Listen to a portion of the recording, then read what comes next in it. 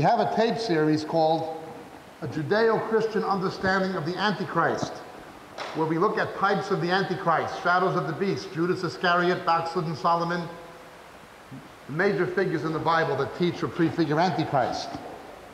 But today, this afternoon, I want to look at a different aspect. Turn to 1 John, please, again.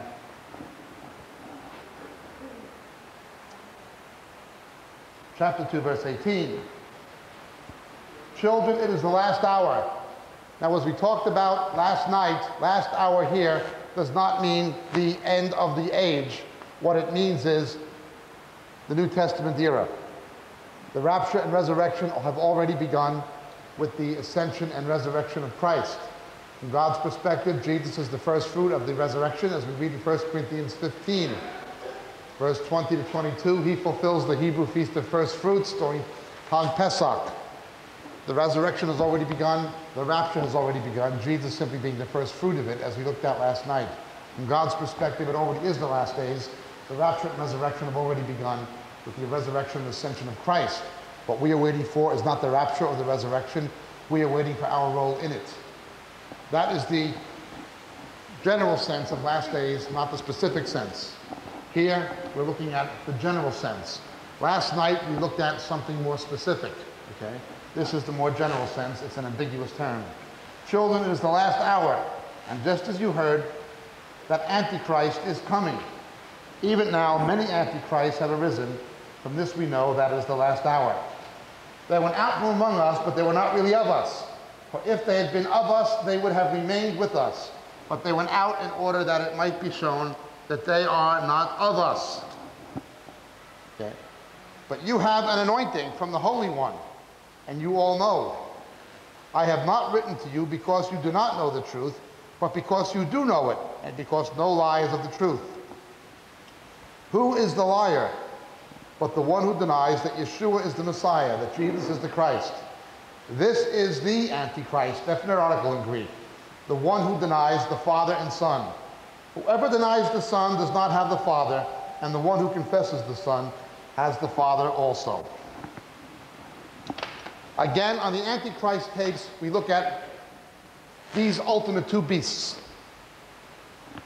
We have to think of Antichrist three ways.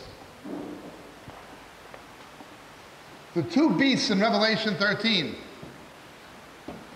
which Revelation doesn't actually call Antichrist, but that's who they are. Remember, it's the Apostle John who is most concerned with the phenomena of Antichrist. In his gospel, in his epistle and in Revelation, he wrote all three. John is more concerned with Antichrist than any of the other apostles, even more than Paul. Now, the reason he's more concerned is because John wrote a gospel different than the other gospels. The synoptics are concerned with showing Jesus as a servant, as a king, as a man. John is concerned with showing Jesus as God. He's concerned with the deity of Christ. So therefore, because he's more concerned with the person of Christ, he's more concerned with explaining the satanic counterfeit of him, okay? He's more concerned with the nature of the Messiah as a divine being than the other Gospels. So you've got these two beasts in Revelation. Then there are many antichrists. And the fact at this time in history that we've seen a proliferation of demagogues having themselves deified, as we looked at last night, we live in the last 50, 60 years, Stalin and Hitler, Mussolini, Kim Il-sung, Nicolae Ceausescu, Pol Pot, Idi Amin, all these men are the same. They're the same spirit, man wanting to be deified. Right in the beginning, man wanted to be God. That's what Satan tried to persuade him of in the garden as we looked at yesterday. So there's many. Now, the only thing by technical definition an antichrist means, or a false, sorry, a false Christ, not an antichrist, a false Christ is somebody with a false anointing. A false Christ is merely somebody with a false anointing. Literally, that's what it means etymologically. But we're not talking about that exactly now. We're talking about Antichrist. Two beasts, many Antichrists, but it is a spirit of Antichrist. A spirit of Antichrist. It is a spirit that's already in the world and always has been, but which but whose proliferation multiplies in the last days. Okay? It's a spirit that's always been here, but its activity multiplies. It becomes more prolific. The spirit of Antichrist is closely associated with the mystery of iniquity. It is strictly speaking not the same, but it is closely associated with it. We will never understand the mystery of iniquity unless we understand the spirit of Antichrist. Okay? And we will never understand the spirit of Antichrist unless we fully understand this mystery of iniquity. Now, again, we have the tapes on the Antichrist. I don't want to focus on what's on those tapes. Those tapes deal with these two beasts and those who foreshadow them in the Bible. You know, the number of the beast 666 occurs many places in the Bible. Many places. It occurs twice with backslidden Solomon. It occurs in Ezra.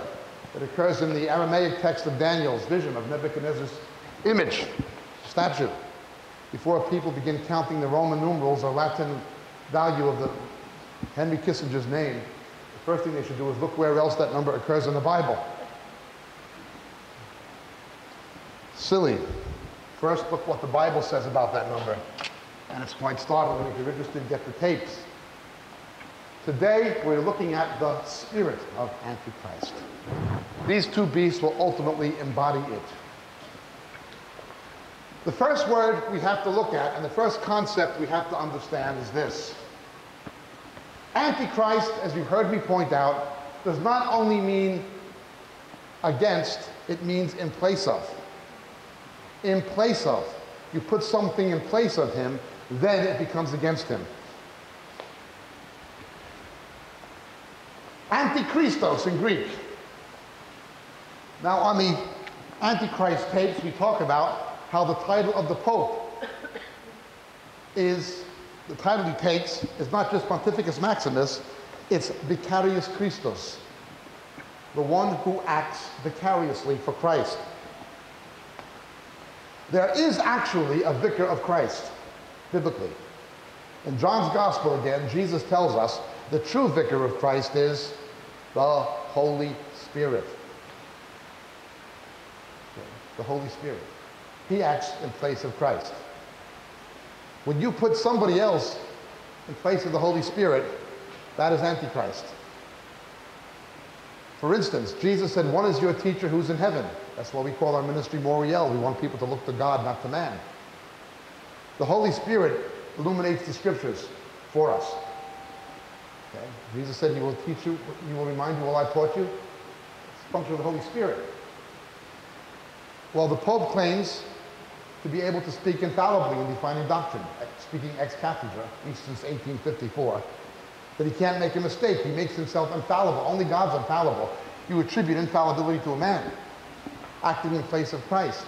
The Pope's title, Vicarius Christus in Latin, you translate Vicarius Christus in Latin into Greek, it is exactly Antichristus. When he puts on the tiara, every pope says, I'm Antichrist, but again, you can get the Antichrist tapes. It's the spirit we're looking at now. Antichristos, but also this word, pseudo logon is the word Paul uses for false doctrine. Pseudo logon. Now, the word pseudo doesn't only tell us it is false, it is something which is false that attempts to look real. A pseudo-intellectual. They try to look like an intellectual. Pseudo-musician. Pseudo. A pseudonym. It's not their real name. Just try to look like the real name. Pseudo. Pseudo logon. Jesus is the incarnate word. Simply a different case ending of logos. Pseudo logon is false doctrine. False doctrine is false logos. It is another Christ. He is the incarnate word. False doctrine is the spirit of Antichrist. The Bible is the word of the Messiah. The word became flesh. First thing we have to understand looking at the spirit of Antichrist is false doctrine. False doctrine is the spirit of Antichrist. It is a false logos. Jesus is the logos. Okay. Pseudo logon. There is more to false doctrine than most people realize. There is a spirit on it. Now we have many tapes talking about this and how leaven, beware the leaven of the Pharisees. We have a plethora of material that you can order or listen to or whatever. Today we're looking at the fact there is a spirit on back of it. Now, as we read in John, that which denies the father son relationship, there is a colossal distinction between biblical Judaism and rabbinic Judaism. You have three kinds of Judaism. The first kind of Judaism is Mosaic. It is what comes from Moses and the Torah. Mosaic Judaism is perfectly true, totally valid, and fulfilled in the Messiah Yeshua. The second kind of Judaism is Messianic. That was the original Christianity. It is simply Jews who realized he was the Messiah and fulfilled the Torah. Original Christianity was simply Jews who realized he was the Messiah who fulfilled the Torah. So you have Messianic Judaism and Mosaic Judaism. Mosaic Judaism has not existed since 70 AD when the temple was destroyed. Paul uses the Greek word katargeo. Katargeo, inoperative, rendered inoperative. The prophet Daniel said the Messiah would come and die before the second temple would be destroyed in Daniel chapter 9. We have tapes explaining that. So suppose you were driving and you're trying to park in the shopping district, say down in Sea Point or down by the aquarium. And it said that there is a 1,000 Rand fine for anyone not having a valid parking sticker. So you went over to buy the valid parking sticker from the machine, but the machine was broke. And you tried to explain to a meter maid, well, the machine is broke, what am I supposed to do? And the meter maid says, tough, that's your problem. If there's no sticker, I'm ticketing you. Yeah, but there's no way to buy a ticket. That is the third kind of Judaism. No temple, no high priest. The third kind of Judaism is Talmudic.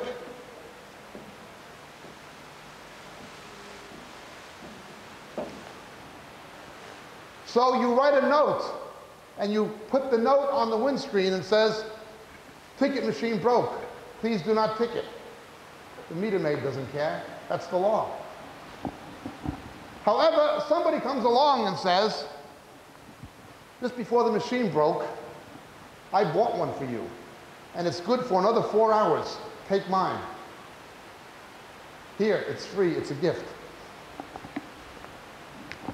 That is messianic. Mosaic is thousand rand fine, put the sticker in the window. Messianic is the machine's broke, you can't buy it. Here, I'm giving you as a gift. I'll fulfill the requirement of the law for you. Talmudic is, well, that may be what the law says, and maybe somebody else wants to give me the sticker, but I don't want the sticker. I'm going to make my own law. Okay? It denies the father son relationship. Talmudic Judaism is not the Judaism of Moses, neither is it the true Judaism of the Messiah. What Moses taught is valid, what Jesus taught is valid. What the rabbis invented is a false Judaism, which to this day has rejected and persecuted Jewish believers. In the first century, they were persecuting Jews who believed that is why Jesus called it a synagogue of Satan. Jesus called it a synagogue of Satan because it was persecuting believing Jews and their families with something called the Birkat Minim, and because it was leading Jewish people away from their own Messiah and the way of salvation. Hence, we see this spirit that's in Roman Catholicism. False Christianity is the spirit of Antichrist. It puts something in place of him. Rabbinic Judaism and Roman Catholicism, you replace the Holy Spirit with a man. You replace the true vicar with a false one. In Judaism, you replace the Torah with mitzvot. Now, what is Talmud? What is Roman Catholic dogma? What's the Roman Catholic Catechism? What's Talmud? Pseudo Logon.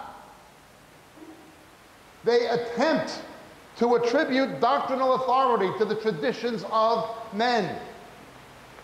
Roman Catholicism cannot exist without doing the very thing Jesus said the Pharisees would go to hell for teaching as precepts of God the inventions of men.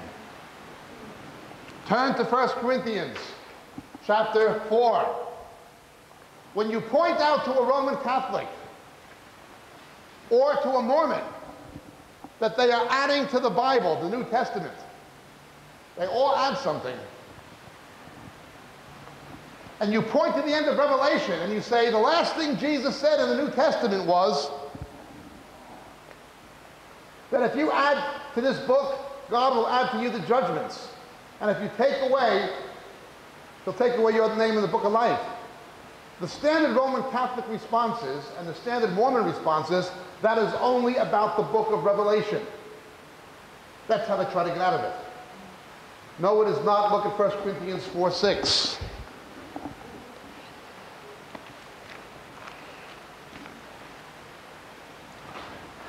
Now, these things, brethren, I have figuratively applied to myself and Apollos for your sakes, that in us you might learn not to exceed what is written. It is not just revelation, and it certainly includes revelation. It's specific to revelation, but it is not exclusive of the rest of the Bible. It's put at the very end of the whole Bible, the whole scripture, the whole canon for a reason. 1 Corinthians 4 6, that you may learn not to exceed what is written. That is what the Pharisees and Sadducees did. Only then it was not written yet. Then it was called Torah Be'al Peh, the oral law. The rabbis teach that the opinion of a thousand and one rabbis, sages, is greater than the opinion of a thousand prophets. The prophets were only messengers who had to write this stuff down. But the great Gaonim, the great genius rabbis, have to interpret it. Okay. Same thing in Catholicism. Was this given on Mount Sinai to Moses? Was the Talmud and the Mishnah and so forth given on? Turn to the book of Joshua, chapter 8.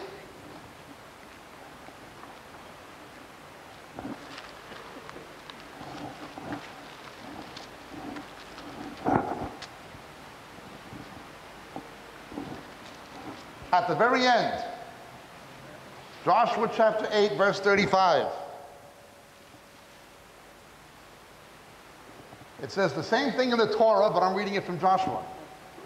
There was not a word of all that Moses had commanded, which Joshua did not read before the assembly of Israel, with the women and the little ones and the strangers who were living among them. Everything God commanded had to be written down.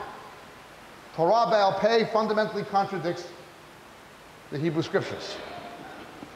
So when you add something to the Bible and claim it's the Word of God and it winds up being in place of what the Bible says, the Bible says don't go beyond what's written. Everything that Moses was told by God, he wrote down. By putting something in place of that, you go against it. It is pseudo-logon. Eventually, in the second century, under Rabbi Yehuda Hanassi, they began writing it down. Pseudo-logon is the spirit of Antichrist. Now, I began with Catholics and Jews for two reasons. My own family, as you know, is a mixture of Roman Catholic and Jewish. I don't want people to think I'm picking on anybody. I begin with my own family. Okay.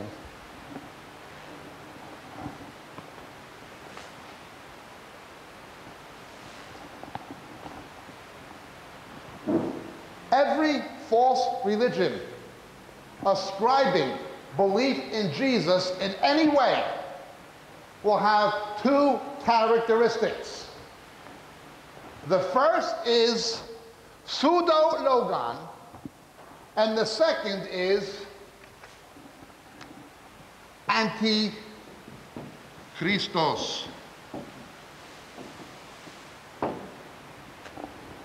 Islam, it is the Quran. Muhammad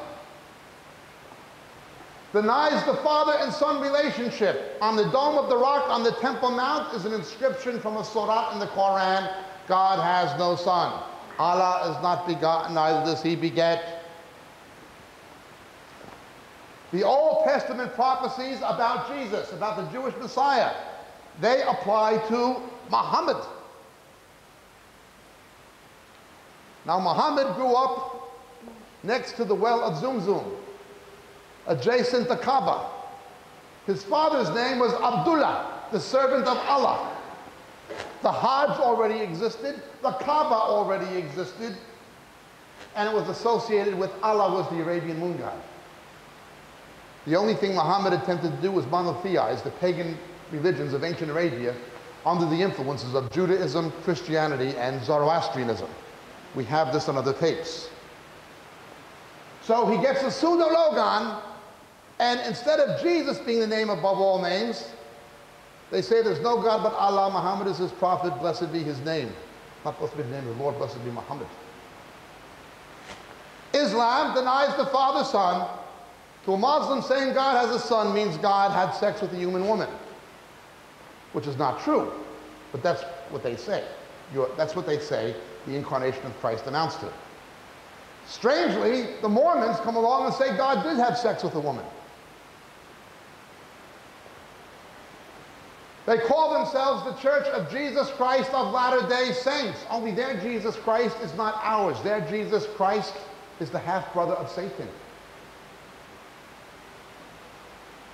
But it begins with the Pseudo-Logon, the Book of Mormon.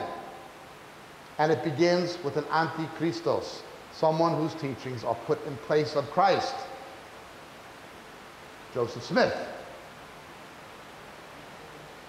Now, Muhammad would not claim to be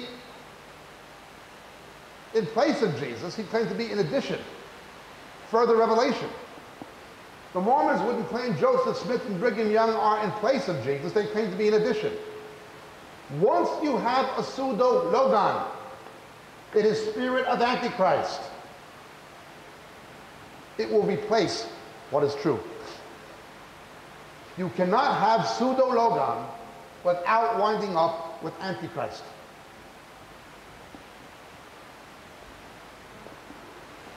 And so it is with the Mormons. It doesn't matter if they come in the name of Christian, as in Roman Catholicism or as in Mormonism or Jehovah's Witnesses or whatever. And it doesn't matter if it comes in the name of Judaism. It doesn't matter. It is pseudo logon. It is a false word. Jesus is the true word, the word who became flesh. Pseudo Logon is the spirit of Antichrist. And eventually, you're going to find somebody lift, being lifted up in place of him. Because somebody's teaching is being lifted up in place of his. Okay. Pseudo logon. Let's take this further and see how this spirit works. Now, it'll have its climax with these two beasts that are coming. But we're looking not at the personalities of the characters now, we're looking at the spirit. That same spirit, what you see in Islam, Mormons, Rabbinic Judaism, Roman Catholicism, it's all spirit of Antichrist. You understand? It all comes from a pseudo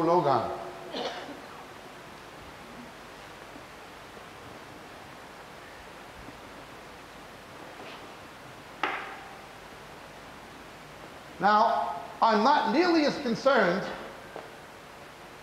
about false doctrine among non believers as I am with pseudo logon among born again believers. I'm concerned about it. I'm concerned for their salvation. I'm concerned for the salvation of Catholics, of Mormons, of Jews, etc. I'm concerned for their salvation. But what they believe isn't going to hurt us. We can help them, they can't hurt us. But when pseudologon gets into the church, look he out. Let us see the ways in which pseudo Logon permeates the evangelical church, the true body of Christ, the community of the elect, born again believers. Turn with me, please, first of all, to the Gospel of St. John, chapter 12. And in fact, we have a new tape on John 12, but we're only looking at one aspect of it now.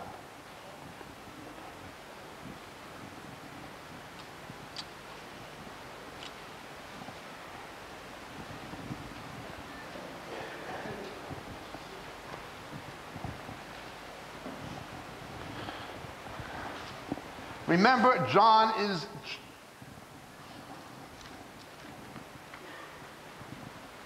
superlatively consumed with the phenomena of Antichrist, more than any of the other apostles. John chapter 12, verse 4. But Yehuda Ishkariot, Judas Iscariot, one of his disciples who was intending to betray him. Why was this perfume not sold for 300 denarii and given to the poor? Now, he said this not because he was concerned about the poor, but because he was a thief. And he, as he had the money box, he used to pilfer what was put into it.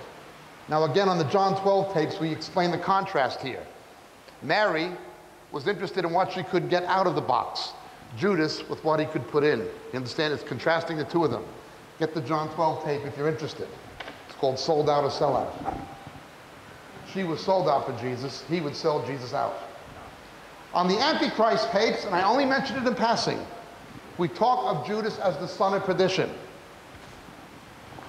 Judas, whenever you see something of Judas, the Holy Spirit is trying to tell us something about the Antichrist, whenever you see it. They are the only two people called with a definite article the son of perdition son of perdition. They're both into money, big time. Thirdly, Look how John describes Antichrist. We just read it. They went out from among us, but they were not really of us. The Bible describes Antichrist in the character of Judah, the same John. They went out. Now that word goes out, went out, same Greek apple as an apostasy, apostasia. Went out from us. Son of perdition. They went out from us. They are both into money. They are the only two people demon possessed by Satan personally. Many people be demon possessed, but it says of Judas, Judas, Satan entered him. And so it is with the beasts. They were not demonically possessed, satanically possessed. Now, there's more to it than this. You can get the Antichrist tapes and the John 12 tapes.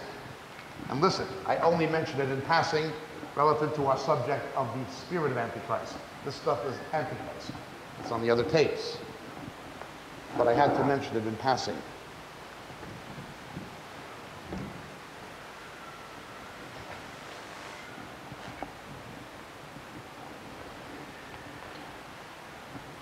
Could this not have been sold and given to the poor? Now look at the synoptic accounts. Look at Mark 14, 4. This is also on the Antichrist tapes, but today we're looking at it from a different aspect. Some were indignantly remarking, why has this perfume been wasted? It could have been sold for 300 denarii given to the poor. That's what it says in Mark's version. Matthew 26, 8 puts it slightly differently. Matthew's version, it reads like this. But the disciples were indignant. Why this waste? The perfume might have been sold.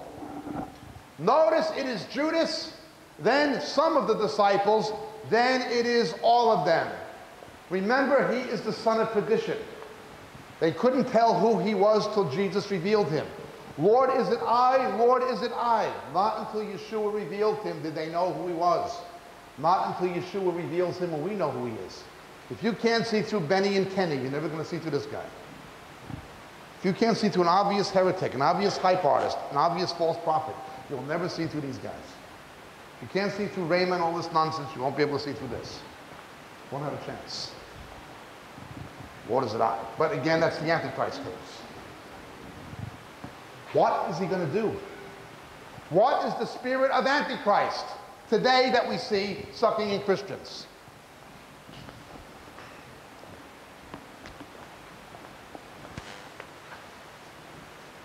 A social gospel.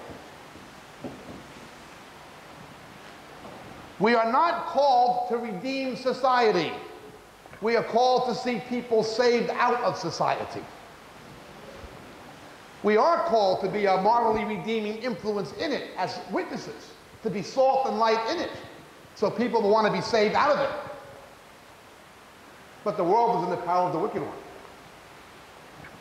We do not do good works to get saved. We do good works because we have been saved. David here runs Memorial Orphanage for the AIDS babies. We don't do that to get saved.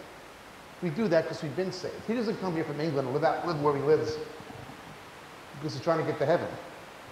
He and his wife do that because they're on their way to heaven. Okay.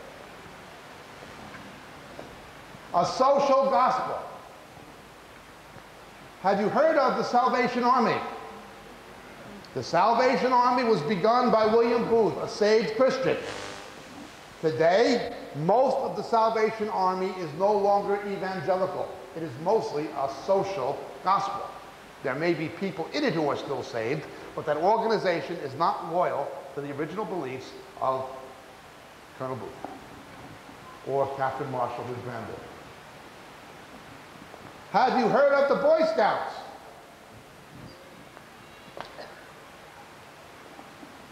Mr. Baden Powell was a saved Christian. That organization, although they're battling in America to stop homosexuals from being scout leaders, have you heard of World Vision? That began as a gospel preaching organization. Now it is a social. Have you heard of Christian Aid? There is nothing Christian about Christian aid by any biblical definition. And like World Vision and like Tear Fund in New Zealand, they are vehemently anti-Israel, pro-Palestine, pro-Islam.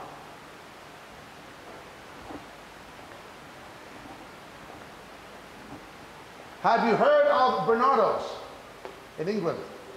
Dr. Barnardo was founded by the Plymouth Brethren. He was Plymouth Brethren It was founded by the Brethren. Now his headquarters in East London is a Freemason place. They abrogated their evangelical statement of faith some time ago. Every one of these organizations began as gospel preaching. Every denomination, the Methodists, began as gospel preaching, reaching the poor. The biggest need of a hungry, homeless person is not a roof over the head and food in their stomach.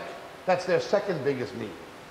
Now, if we negate their human need and just give them the gospel, we're hypocrites. We have no testimony. But if you just say, I'm going to ignore your spiritual need and meet your human need, that is not biblical Christianity. It is a social gospel. If an organization stops being evangelistic, it will eventually sooner or later, usually sooner than later, once it stops being evangelistic, will cease being evangelical by biblical definition of the word evangelion, gospel preaching. They just become social organizations. Once they go down that road, you will find them getting more and more ecumenical, more and more interfaith, and more and more political, redefining morality in political terms instead of in biblical terms. The social gospel, could it have not been used for the poor? They don't care about the poor. The poor was only a means to power. Look at your country. Look at what has happened. This is a nation that exchanged one evil for a worse one. Desmond Tutu does not preach the gospel as the New Testament teaches it. He again is one of those committed to a homosexual ordination, etc. He's into interfaith with the Hindus, the Sangomas, and the rest of it. To him, the gospel was a social salvation, a political salvation, bring the ANC to power. Is this the way of salvation? Well, what used to be political violence is now crime. Black unemployment has more than doubled. Infant mortality, nobody knows statistically how much worse, but it's a lot worse. Black longevity has declined, according to the UN, by nearly seven years.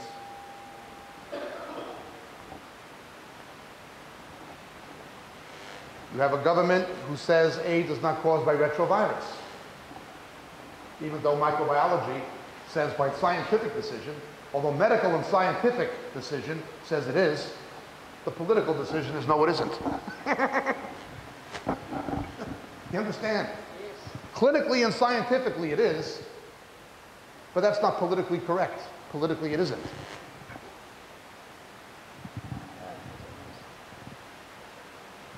Are the poor any better off? No. The Dutch Reformed Church came, claimed to believe the gospel. How could anybody who believed the gospel be in the Broederbond and be a racist? That was not Christianity. And neither is Desmond. You understand how it works? It is useless. Social gospels don't save society. New birth comes first. God changes people from the inside out. You are never going to change society with social programs. You're only going to change society by seeing God change people's hearts. Once people are born again, social evils disappear. That's how slavery was abolished in the British Empire. That is how Shaftesbury and Wilberforce and Dr. Barnardo combated the social evils of their era. Once you begin replacing the gospel of Jesus with the social gospel, you have pseudo logon. How will the Antichrist get power? A social gospel will be his first calling card. Look how he cares for the poor. The son of perdition does not care about the poor. The poor are simply a way to get power, just like the ANC, just like the communists. That's all. That's all. That's all. That's not the issue. That's the social gospel. A pseudo logon. Lord is an I, Lord it can't be Judas. Look how he cares for the poor. Again, if you can't see through Mother Teresa of Calcutta, you won't see through this guy. When she got the Nobel Prize, she stated, she stated, when she got the Nobel Prize, I do not convert these poor people of Calcutta to be Christians. I convert them to be better Hindus and better Muslims. I always ask the question, well, how do you convert somebody to be a better Muslim? Give them a hand grenade?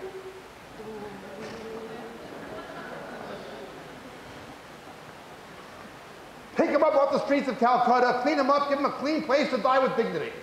And send them to hell in a laundry chute, nomini patri cum filio cum spiritu santo. Name of the Father, the Son, and the Holy Spirit. Go to hell, go directly to hell, do not pass go, do not collect $200. How dare you say that about Mother Teresa? She gave her life for the poor. Did she give her life for Jesus? She said she doesn't give these people the gospel. If you can't see through her, this guy is going to make her seem like the whore of Babylon.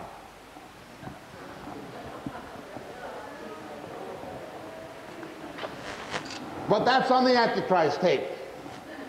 We're looking at the spirit of it. You understand? When you see these churches being increasingly consumed with the social gospel, and we can't have this war. Jesus lived in a politically charged environment in an occupied country.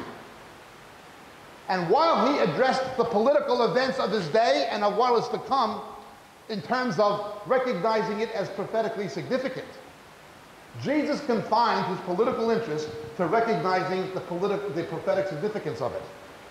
He refused to be dragged into secular politics or to identify his message with it.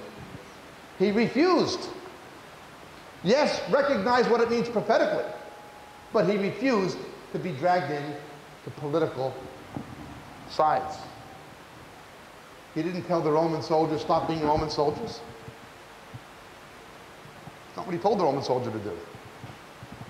Christianity is pacifist. And why didn't Jesus tell the Roman soldier to lay his weapons down and stop being a Roman legionary? That's not what he told them. Pseudo-logon. People come up with some other way. It's the way God leads you in the situation. Let's look. Number one, spirit of Antichrist is a social gospel. World Vision, Tear Fund New Zealand, Christian Aid, spirit of Antichrist. If you are not preaching Christ crucified, Christ risen, Christ coming again, you must repent and be born again. If that is not the basis of your gospel, your gospel is not the gospel of Jesus. Turn with me to Galatians.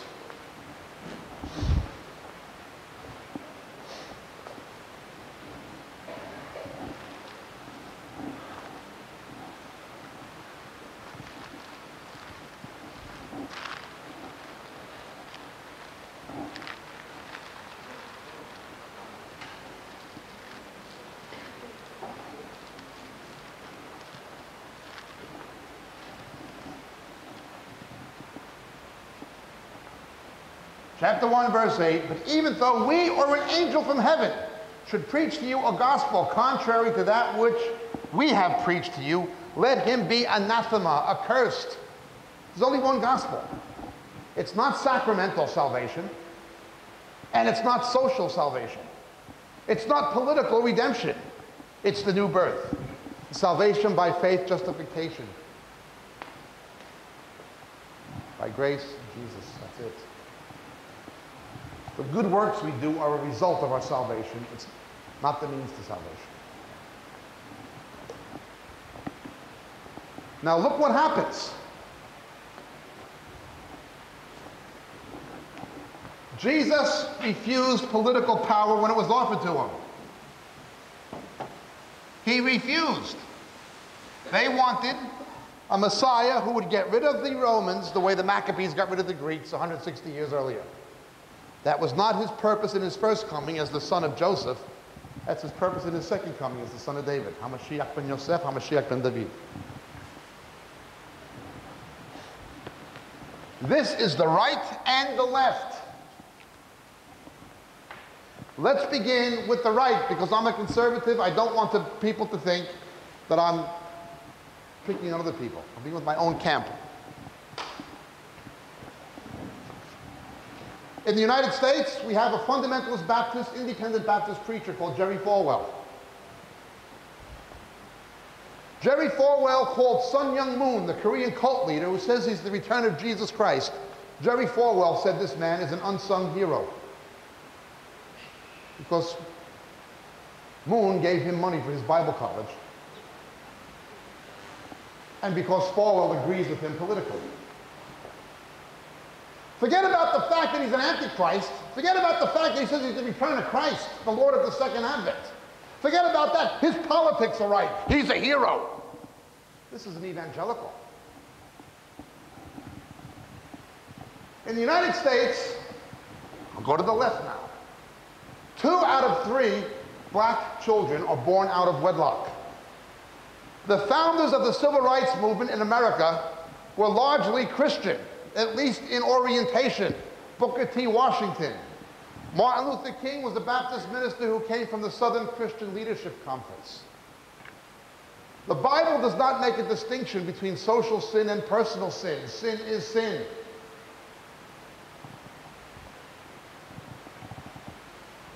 So we have the Reverend Jesse Jackson, a black Baptist preacher. Corporations and foundations are donating millions to help black kids in the inner cities of America. Skins the money, pays an astronomical salary to the mother of the baby he had out of wedlock.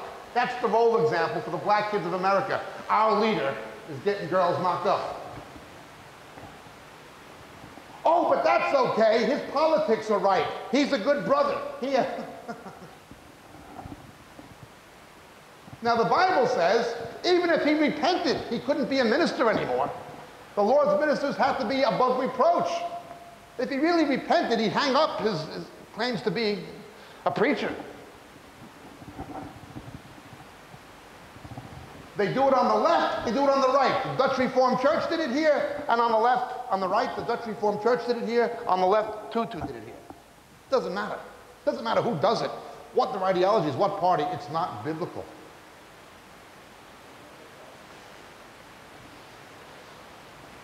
It is Antichrist. You wind up with the person. They'll be lifting up somebody as the way of salvation other than Jesus. It doesn't matter if it's Reverend Moon or Mandela, they'll lift somebody up.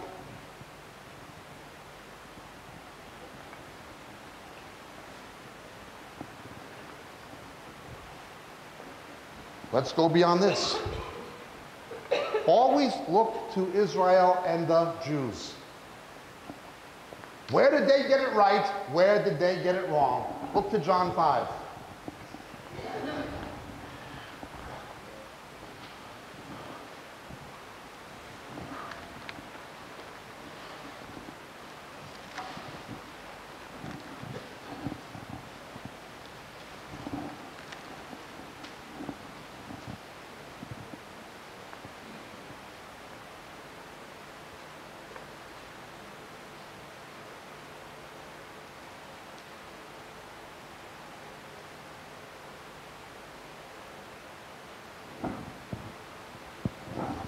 What does Jesus say in this chapter? He tells us some very incredible things. He says, I come in my Father's name, and you do not believe. But if another comes in my name, him you shall believe. The Antichrist will in some way convince the Jews he's the promised Mashiach and make a covenant with them. There's two beasts. I'm quite convinced one will be a Jew. There are arguments against this, but I'm quite convinced they're not going to follow a pygmy or an Eskimo.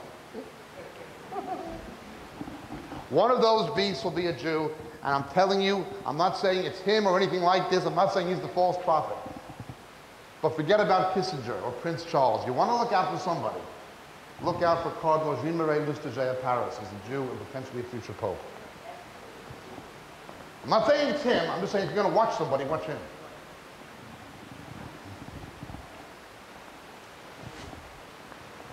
Pay attention. Jesus says, don't think it's me who accuses you in John 5. It's Moses and the prophets. It'll be Moses. The problem that unsaved Jews have is not that they reject Jesus. That's not their problem. The fact that unsaved Jews reject Yeshua as their Messiah, that's not their problem. That is the result of their problem. The problem is they reject Moses and the Torah and the prophets. If they really believed Moshe Rabbeinu, if they really believed the Hebrew scriptures, they would know he's the Messiah. Jesus isn't going to condemn them. Moses is. Their problem is not that they reject Jesus. Their problem is they reject Moses. Why do you reject Moses? Because of a pseudo logon.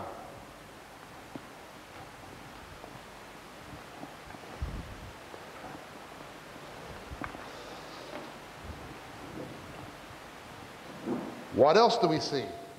How else does this spirit operate in the church? The world that's there, it's always been there. Other religions, it's always been there. And of course, will become exasperated in the last days, but it's always been there. I mean, when he was in the church. The Pope claims to be the vicar of Christ, the Pontificus Maximus, the bridge builder between all faiths, the same as the pagan emperor was. Ecumenism is the spirit of Antichrist. But we've touched on that. Let's go further. The only thing Jesus had to do, not to be crucified, the only thing he had to do to escape Calvary, the only thing he had to do to vindicate himself and save his neck was put on a show. He only had to put on a show for Herod, and of course he said, No, a wicked and an adulterous generation seeks a sign. We've said many times, he did not allow signs and wonders to be the focus of his message or his ministry. These signs follow. You see people flocking to a stadium to see Benny and Kenny. That is the spirit of Antichrist. Look at Matthew 24. Counterfeit signs and wonders. Revelation 13, 13. Pretended signs and wonders. 2 Timothy chapter 3. They'll come like Jannes and John Jambres. Who were Jannes and Jambres? Pharaoh's magicians. What did they do? Counterfeit miracles.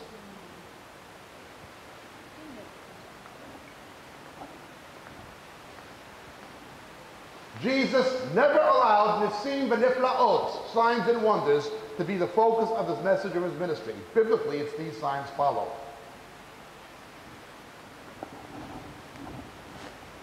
Instead, it is the John Wimber, Derek Morphew gospel of signs and wonders.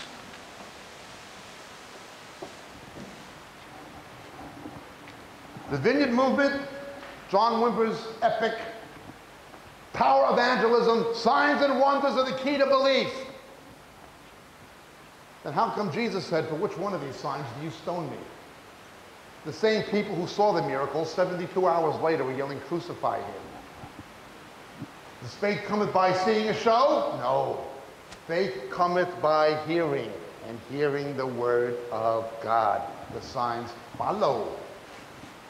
When you see people having a signs and wonders gospel,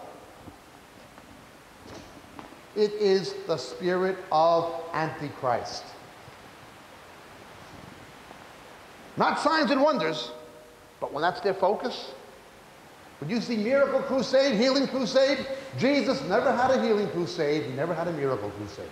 Oh, he had healings and miracles, but his crusades were about repentance.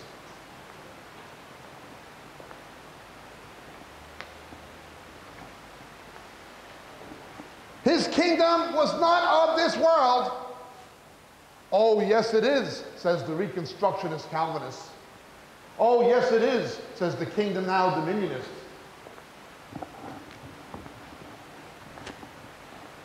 Kingdom Now Theology, Rick Godwin, McCauley's friend. Overrealized eschatology. What is it? He says, it's not now, my king is not of this world. Instead of thy kingdom come, it's thy kingdom has come and it's us. What Isaiah 28 warns about. Roll to the crown of the proud drunkards of Ephraim, self-deification of the church. Same as Israel did. And part and parcel of this, and I don't want to go into it, I only mentioned it in passing.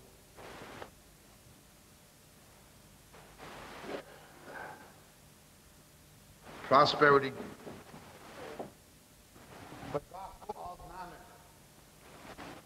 Instead of rich in grace, it's rich. Store up treasures where moth and rust won't devour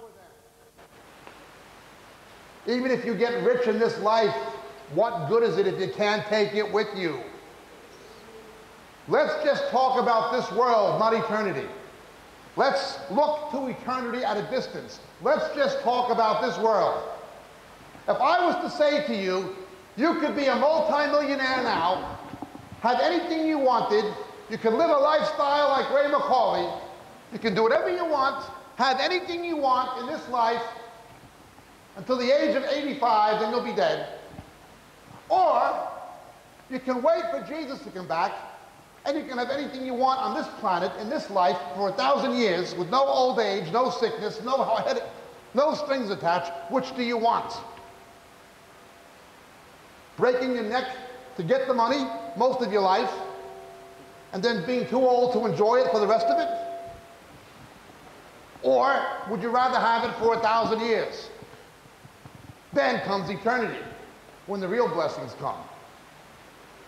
As Jim Elliot, the American missionary who was martyred in South America, said, No man is a fool who gives up what he cannot possibly keep in order to gain what he cannot possibly lose. That's Christianity. It is the spirit of Antichrist. Something else is in place of what's supposed to be there. Another logon, another word, word faith, they call it. You know what word faith is? Pseudo logon.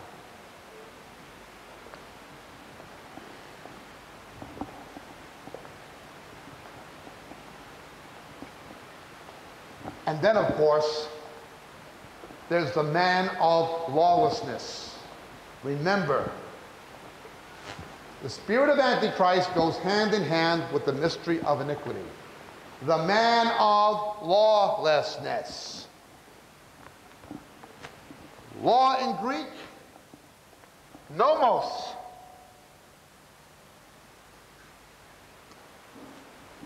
Lawless a nomos.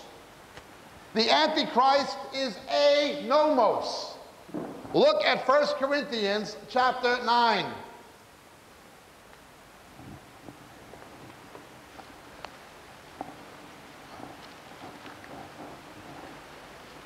Verse 20. To the Jews I became as a Jew that I might win Jews. To those who are under the law, as those under the law, that's the law of Moses though not being myself under the law. Notice he's a Pharisee and a Jew, and even he was able to eat lobster if he wanted. but he chose not to for the sake of his testimony to Jews. That I might win those who are under the law. To those who without law, as without law, though not being without the law of God, but under the law of Christ. What does he mean? If you get on an airplane at Johannesburg or Cape Town and you fly to Germany, well, in South Africa, as in most British Commonwealth countries, apart from Canada, you drive on the left. The law says you keep left. You get off the plane in Frankfurt, you have to keep right. You have gone out from under the laws of South Africa under the law of Germany. Can you say, I'm not under the law anymore? I'll drive in the left, the right, anywhere I feel like it. I'm not under the law anymore. I'm not in South Africa. You've come out from under one law and under another. There are do's and don'ts in the New Testament, the same as there are in the Old. You've come out from the law of Moses and gone under the law of Christ. Now, there's much more to this than I'm saying, obviously. It's the difference between law and grace.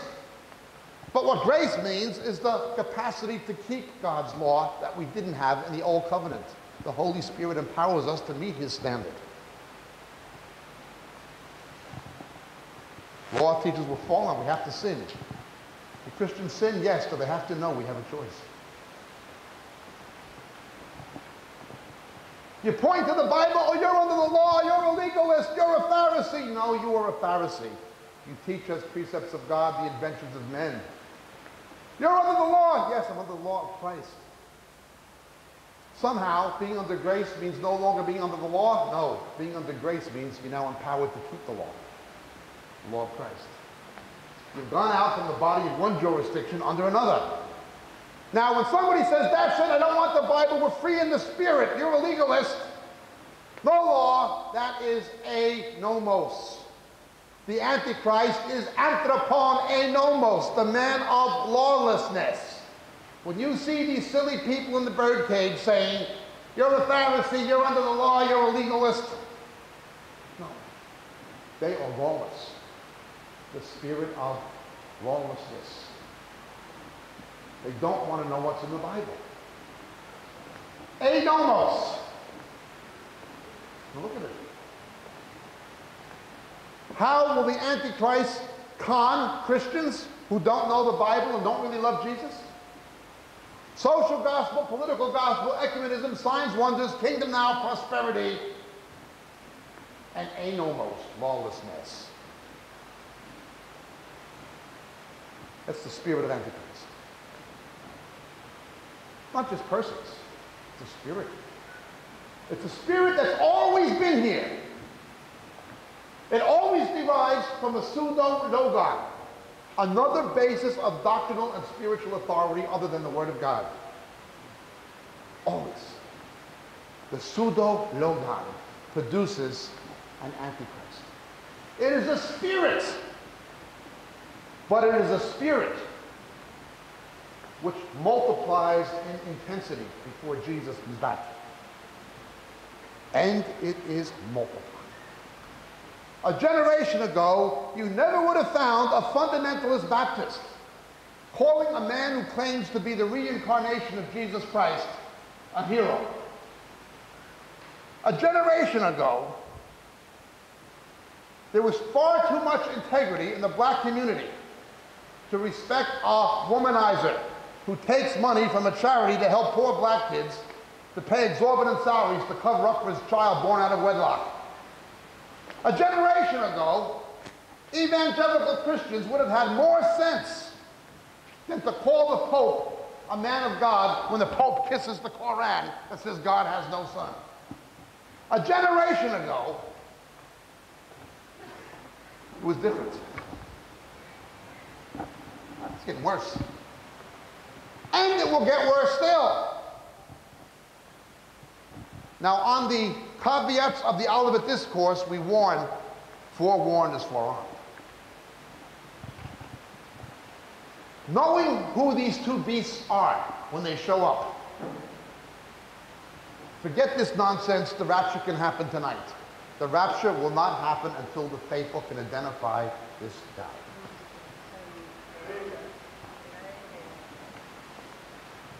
You don't believe Jesus can come tonight? Yeah, Jesus can come tonight for me, he can come tonight for you. But the rapture and resurrection is not happening until we know who this guy is. Second Thessalonians is clear. They've got to do all kinds of monkey tricks to get around what it plainly says. Let he who has wisdom count the number of the beast. If the only people who have wisdom are Christ, if he's our wisdom and the church isn't here, who's going to have the wisdom to know who he is?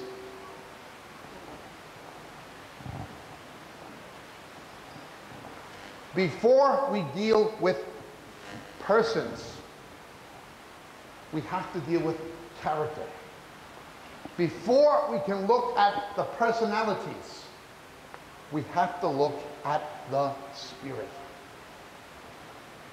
Antichrist is not coming. Antichrist is here in spirit. Just think. Is Jesus coming again? Yes.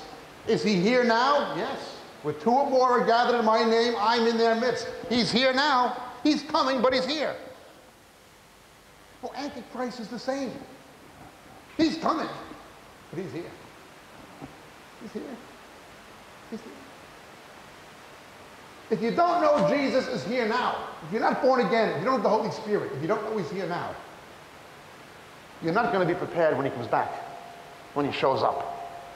If you don't know he's here now, you're never going to be prepared for when he comes back. If you don't know he's here now, you will not be ready when he shows up. Antichrist is the same. If you don't know it's here now, you're not going to be ready when he shows up. Oh, he's coming. He's going to show up. But he's here now. It's a spirit. Jesus is here. It's the Holy Spirit. Antichrist is here. It is the spirit of Antichrist. It is the social gospel, the political gospel, the ecumenical gospel, the signs and wonders gospel, the kingdom now gospel, the prosperity gospel. It is anomos. It's a spirit. Which spirit are we of? At the end, is a dichotomy. Those and only those who have the Spirit of Jesus, which is the Spirit of prophecy. Those and only those who have the Spirit of Jesus will not succumb to the spirit of Antichrist. Those and only those who are ready for the coming of Christ will be ready for the coming of Antichrist. The spirit of Antichrist is already among us, it is already in the church. Thank God the Holy Spirit of Christ is here also. God bless you tonight.